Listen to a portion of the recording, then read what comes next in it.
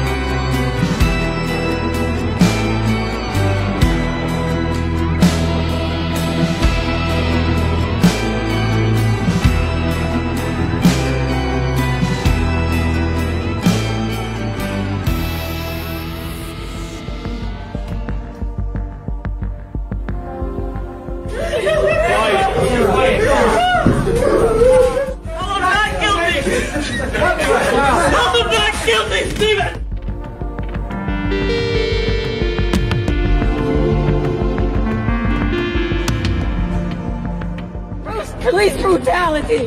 He was mentally ill and he needed help and we couldn't get it. We tried and tried. And he didn't deserve it.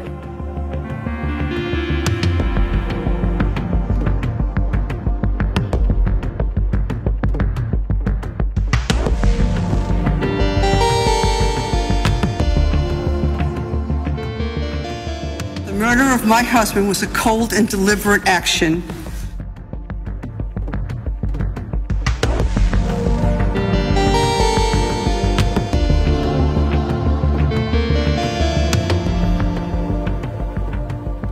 The jury found that Esteban Carpio was not insane at the time of the crime.